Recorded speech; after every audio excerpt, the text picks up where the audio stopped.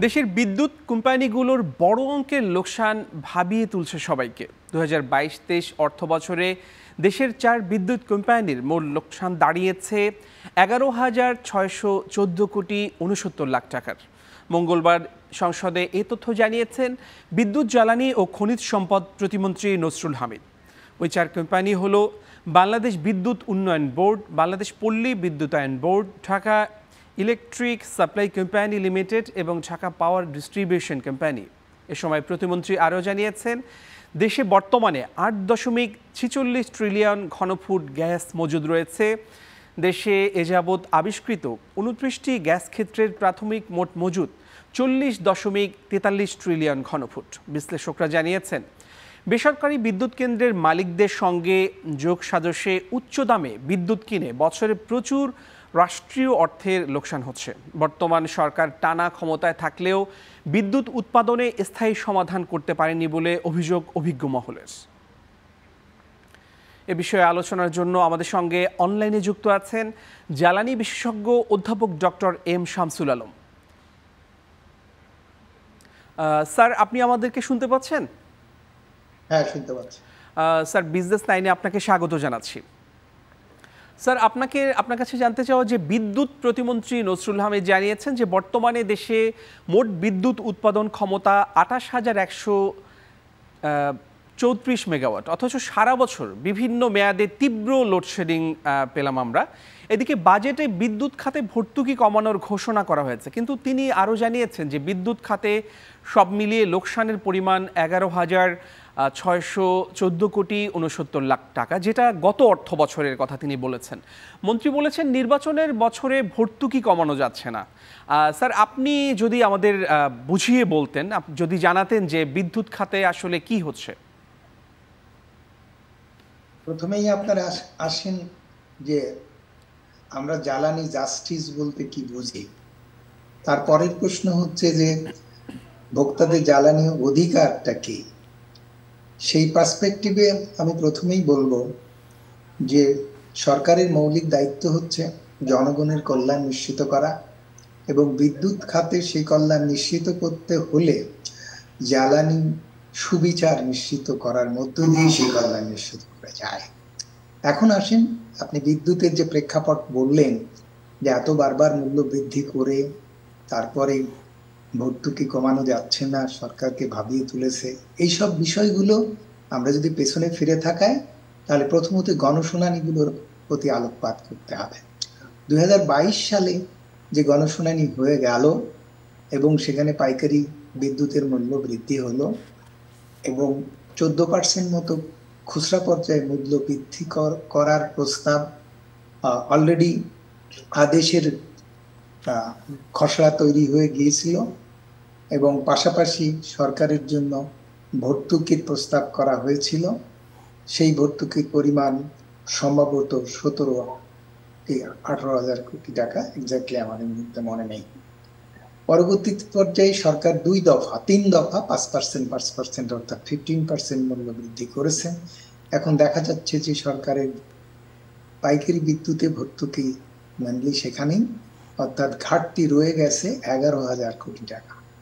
এখন আসেন, সেখানে ভোক্তাদের তরফ থেকে বলা হয়েছিল যে বিদ্যুতের মূল্য বা বিদ্যুৎ উৎপাদন যদি যৌক্তিক মূল্যে করা যেত এবং সেখানে ন্যায্যতা যদি নিশ্চিত হতো এবং সেখানে অযৌক্তিক ব্যয় যদি প্রতিরোধ করা যেত, অর্থাৎ লুণ্ঠনমূলক ব্যয় কম্পিটিশন কমিশন অ্যাক্টের ষোলো এবং পনেরো এবং ষোলো ধারায় এই লুণ্ঠনমূলক ব্যয়ের ডেফিনিশন দেওয়া আছে।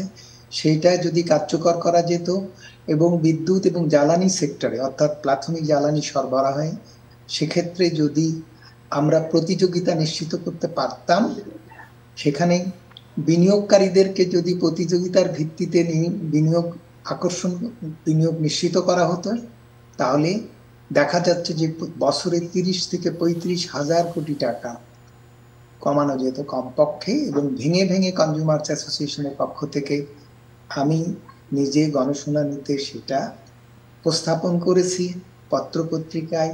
সেগুলো আপনারা প্রচার করেছেন এবং প্রবন্ধ আকারে লিখিতভাবে সেই সব ব্যাখ্যা বিশ্লেষণ দিয়েছি।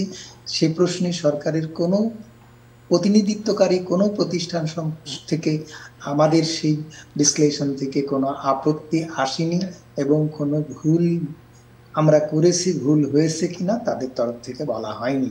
তাহলে এবং বিআরসি যে আদেশ দিয়েছে কথা ধারাবাহিকভাবে যদি সব আদেশে বলেন এবং এই আদেশেও তারা যে খসড়া করেছে এবং পাইকারি বিদ্যুতের দাম তারা যে উল্লেখ করেছে মানে নির্ধারণ করেছে যে পাইকারি বিদ্যুতের দামে এখন চলছে, সেখানেও আমরা যা যা বলেছি তারা সেখানে অলরেডি উল্লেখ করেছে, কিন্তু আমরা কোথাও ভুল বলেছি, কোথাও সঠিক বলিনি, তথ্য ঠিক না এইসব কথা কিন্তু কোথাও বলা হয়নি। তার মানে আমাদের যে বক্তব্য সেটাকে সঠিক আপনাদেরকে বা দেশবাসীকে ধরে নিতে হবে। সেটা যদি ধরে নেওয়া যায়, তাহলে এই এগারো হাজার কোটি টাকার যে ভর্তুকি, যে ঘাটতি বছরে, যেখানে তিরিশ থেকে পঁয়ত্রিশ হাজার কোটি টাকা লুণ্ঠনমূলক ব্যয় রয়ে গেছে এবং সেই লুণ্ঠনের মূলত উৎসাহ হচ্ছে দ্রুত বিদ্যুৎ ও জ্বালানি সরবরাহ আইন। সেই আইনে কম্পিটিশন রোধ করা হয়েছে। এবং পুরা বিদ্যুৎ সেক্টরে লোকসান হচ্ছে, ঘাটতি হচ্ছে, কিন্তু সাপ্লাই চেন থেকে। যদি আপনি বলেন যে জ্বালানি সরবরাহ থেকে আরম্ভ করে ভোক্তা পর্যায়ে যেসব প্রতিষ্ঠান, উৎপাদনকারী প্রতিষ্ঠান বলেন, সরকারি মালিকানাধীন বা বেসরকারি মালিকানাধীন সঞ্চালন কোম্পানি বলেন, বিতরণ কোম্পানি বলেন আরইবি পিডিবি দেশা দেশকো সবারই কিন্তু লাভ হচ্ছে। সবারই যে চার্জ দেওয়া হচ্ছে, তারা যে সেবা দিচ্ছে, সে সেবার জন্য প্রত্যেকে ডিস্ট্রিবিউশন চার্জ চায়, সঞ্চালন চার্জ পায়, উৎপাদন চার্জ পায় প্রত্যেকটা কোম্পানি এবং সেগুলো উইথ মুনাফা চার্জ শুধু চার্জ না উইথ প্রফিট পায়। তার মানে সবারই প্রফিট হচ্ছে, সরকারের মুনাফা হচ্ছে। সরকার সেসব কোম্পানির যে মালিক, সরকার ডিভিডেন্ড পাচ্ছে, যত দাম বাড়ে সরকারের ডিভিডেন্ড তত বাড়ে এবং সরকার ডিভিডেন্ডের পাশাপাশি মালিক হিসেবে লাভ্যাংশ পায় এবং পাশাপাশি সরকার রেভিনিউ পায়। শুল্ক আছে ভ্যাট আছে, এই সমস্ত বাবদে সরকার এবং কর্পোরেট ট্যাক্স পায় এসব ব্যাপারে। তাহলে এই সবগুলো যেখানে অব্যাহত থাকে সেটা সেইগুলো ধরে লস হিসাব করা কি যৌক্তিক? এগুলো কি জাস্টিস এগুলো কি ন্যায্যতা? সেই প্রশ্নটা আমাদের আগে মীমাংসা করতে হবে।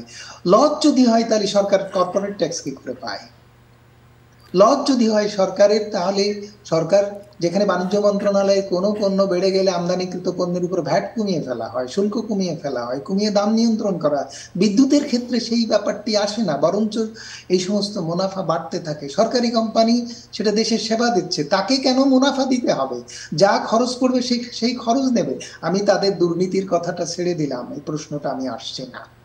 এখন আসেন যে জ্বালানি নিরাপত্তার উপরে নির্ভর করে কি? খাদ্য নিরাপত্তা সহ জীবনযাত্রার ব্যয় পণ্যের মূল্য, সেবার মূল্য, সবকিছুই হচ্ছে বিদ্যুতের মূল্যের সঙ্গে অঙ্গাঙ্গিভাবে জড়িত।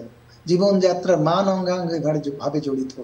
এই যে মাসে মাসে পাঁচ পার্সেন্ট করে বাড়িয়ে দেওয়া হলো, আপনি কি ভাবতে পারেন যে এই পাঁচ পার্সেন্ট বাড়ানোটা ভর্তুকি সমন্বয় করা, ভর্তুকি তুলে দেওয়ার জন্য এই স্লোগান নিয়ে সরকার নামলো কিন্তু এই সমস্ত সরকারের রাজস্ব সাশ্রয় করা বা রাজস্ব যৌক্তিক করা, মুনাফা যৌক্তিক করা কর্পোরেটার যৌক্তিক করা, অর্থাৎ এ খাতকে পুরোদমে বাণিজ্যিক খাত হিসেবে, অর্থাৎ বেসরকারি খাতকে যেমন বাণিজ্যিকভাবে ব্যবহার করার জন্য আমরা যেভাবে মুনাফা দিচ্ছি, সরকারকেও সেইভাবে মুনাফা দিচ্ছে। সরকারকে, এখন আর সরকার আমাদের প্রতিনিধিত্ব নয়, সরকার নিজে একজন ব্যবসায়ী এবং সরকার বেসরকারি খাতকে ব্যবসা দিচ্ছে, সে ব্যবসা দেওয়ার ক্ষেত্রেও সরকার তাদের স্বার্থ সংরক্ষণ করছে। অর্থাৎ জনগণের কল্যাণ করতে যেয়ে যে জ্বালানির ব্যাপারে জ্বালানির সুবিচার বা এনার্জি জাস্টিস ইনশিওর করা এবং এনার্জি জাস্টিস ইনশিওর করে ন্যূনতম ব্যয়ে ভোক্তাকে আপনার বিদ্যুৎ এবং জ্বালানি সরবরাহ নিশ্চিত করা সেই জায়গায় সেই আদর্শে সরকার নেই। সেই দর্শন সরকারের মধ্যে কাজ করছে না। তাহলে প্রথমেই যে কাজটা আমরা বক্তারা বলে আসছি, আজকের এই অনুষ্ঠানেও বিশেষভাবে বলতে চাই যে সরকারকে এই খাতকে বাণিজ্যিক খাত হিসেবে ব্যবহার করা বা মানে উৎস হিসেবে দেখা এবং পাশাপাশি সরকারের রাজস্ব আহরণের প্রধান খাত হিসেবে দেখা এটা একটা ভুল চিন্তা করা হচ্ছে এবং পাশাপাশি বেসরকারি খাতকে জরুরি অবস্থার মতো করে বিনিয়োগ আকর্ষণ করার অজুহাতে সে খাতে লুণ্ঠনমূলক মুনাফা এবং লুণ্ঠনমূলক ব্যয় অ্যাকোমোডেট করে যে ব্যয় বৃদ্ধি বা যে ঘাটতি বৃদ্ধি করা হচ্ছে তা অন্যায় অযৌক্তিক এবং ন্যায় বিচারের পরিপন্থী এবং ভোক্তাদের লুণ্ঠনের স্বামী। নিশ্চয়ই স্যার আপনি বলছিলেন যে লুণ্ঠনমূলক মুনাফা ও ব্যয় সেটা ভোক্তাদের সঙ্গে আসলে সুবিচার করা হচ্ছে না এবং এই ব্যাপারটি সমাধানের কথা আপনি বলছিলেন। স্যার আমাদের যদি ছোট্ট করে বলতেন, আমাদের হাতে সময় একটু কম আছে। আমি জানতে চাচ্ছি যে গত একত্রিশ আগস্ট বিদ্যুৎ, জ্বালানি ও খনিজ সম্পদ মন্ত্রণালয় থেকে এক সংবাদ বিজ্ঞপ্তি দেওয়া হয়েছে। সেখানে বলা হয়েছে যে পায়রাতে গভীর সমুদ্রে আরেকটি ভাসমান এলএনজি টার্মিনাল স্থাপনের জন্য মার্কিন কোম্পানি এক্সিলেটর এনার্জিকে অনুমোদন দেওয়া হয়েছে। তো স্যার এই সিদ্ধান্ত নির্বাচন কেন্দ্রিক কিনা? সামনে তো নির্বাচন আসছে। আমরা তো ভোক্তাদের স্বার্থ দেখি এবং আমরা চাই সরকার ভোক্তাদেরকে খুশি করার ব্যাপারে সফল হোক এবং সরকার তার সার্বভৌম ক্ষমতা দিয়ে সরকার সর্বতোভাবে জনগণের কল্যাণ নিশ্চিত করুক। তো এভাবে আমদানি নির্ভর জ্বালানির উপরে বিদ্যুৎ ব্যবস্থা বা দেশে জ্বালানি নিরাপত্তা ছেড়ে দেওয়ার কারণে যে ব্যয় বৃদ্ধি নিয়ন্ত্রণ করা যাচ্ছে না, দুর্নীতি নিয়ন্ত্রণ করা যাচ্ছে না এবং আমরা আমদানি বাজার থেকে যথাযথভাবে আমদানিকৃত জ্বালানি কিনতে সক্ষমতার পরিচয় দিতে পারছি না। যেখানে দেখা যাচ্ছে যে স্পট মার্কেট থেকে এলএনজি কিনতে যে যখন কম দামে এলএনজি পাওয়া যায় তখন আমরা কিনিনি। আমরা সবচেয়ে বেশি দাম যখন হচ্ছে তিরাশি টাকায়, একশো বারো টাকা পার কিউবিক মিটার কিনেছি দেশি কোম্পানির কাছ থেকে, যেখানে এক দশমিক তিন টাকায় কিনেছি। এইরকম ধরনের ভয়াবহ রকমের অসমতায় এই আমদানি পণ্য ক্রয়ের ক্ষেত্রে আমরা দেখতে পাচ্ছি। সেখানে অভ্যন্তরীণ জ্বালানি অনুসন্ধান উত্তোলনের ব্যাপারে আমরা গুরুত্ব দিচ্ছি না বা আমরা সেভাবে মনোযোগ দিচ্ছি না।